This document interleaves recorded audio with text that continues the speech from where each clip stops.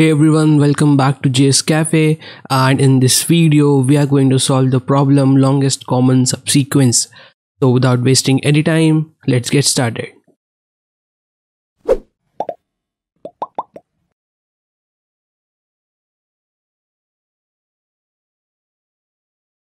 Okay, so uh, in this question uh, you'll be given uh, two strings which is str1 and str2 and in this problem you have to uh, figure out you have to compute the length of the common subsequence.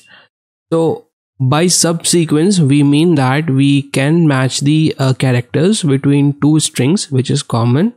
But we uh, can skip any characters which don't match.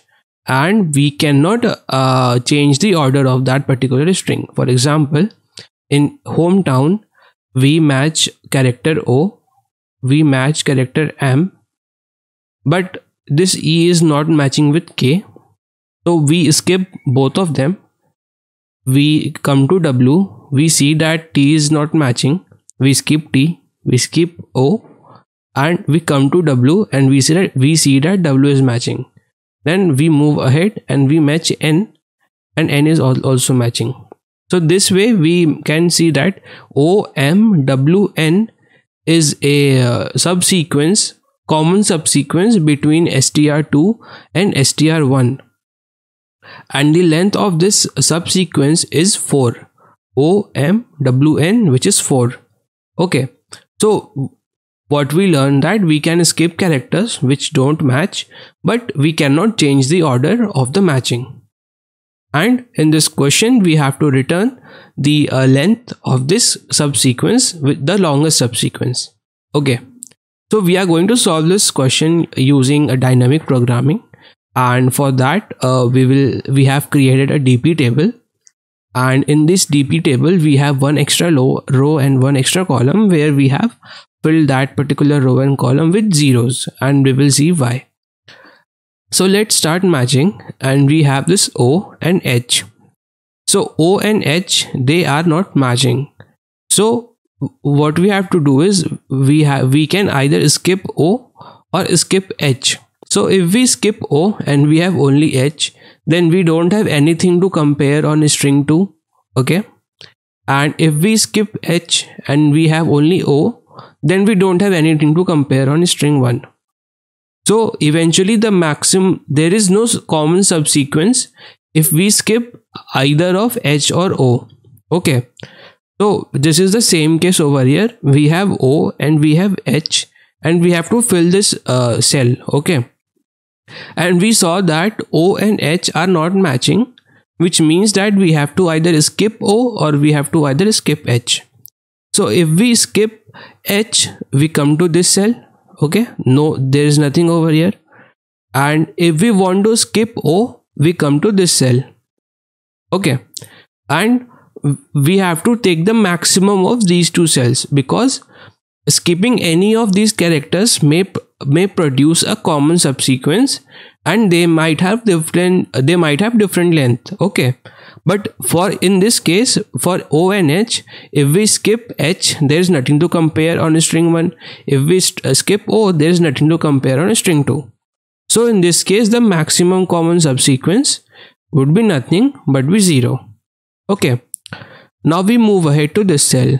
Now this cell means that we want to find the maximum common subsequence for O and the, for the string O and for this particular string from here to here H and O.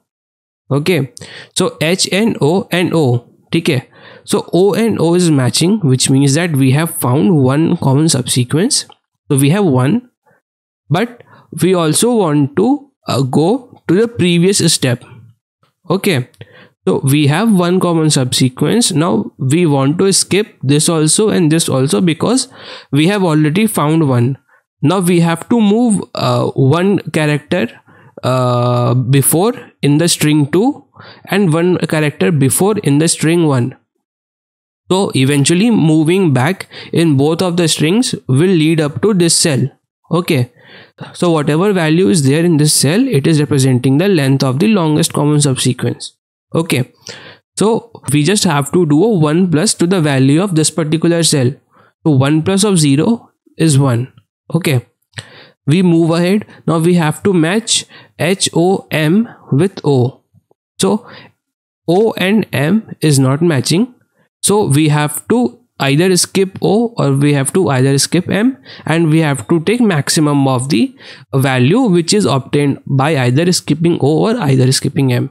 So if we skip o we come to this cell okay. And the value is 0 over here which means that we don't have any subsequence which is also correct because if we skip o we don't have anything to compare. And if we skip m which means that uh, we are coming to uh, this position. Okay. This position over here. And we saw that we already had a common subsequence of length 1 so even if we have this particular string h o m and o and thus maximum common subsequence is still O and the length is 1. So here also the length will be 1. Got it? So now let us formulate this rule that if the strings are not matching then we have to take the maximum of values from this cell or this cell and if the value is matching we just have to do 1 plus of value in the diagonal cell just above it. Okay.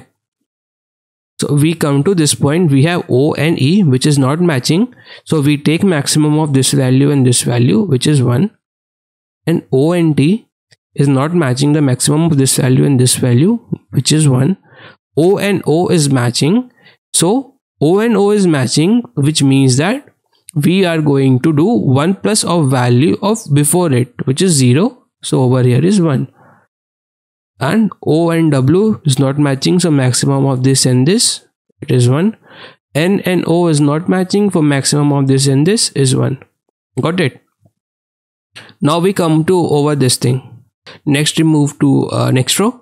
We have M and H not matching maximum of this and this 0 M and O not matching maximum of this and this 1 M and M matching maximum of M and M matching so 1 plus value of diagonal value 2 M and E not matching maximum of this and this 2 M and T not matching 2 M and O not matching 2 2 and 2 moving on to next row we have K. K and H not matching maximum of this and this 0 K and O not matching maximum of this and this 1 K and M not matching maximum of this and this 2 K and E not matching. So K is not matching basically anything. So here all values would be 2 2 2 and 2 okay moving on to next row. W and h not matching. So maximum this and this 0 w and o not matching maximum this and this 1 w and m not matching maximum of this and this 2 w and e not matching 2 w and t not matching 2 w and o not matching 2 w and w matching so 1 plus value of this is 3 W and N not matching so maximum is 3 maximum these two.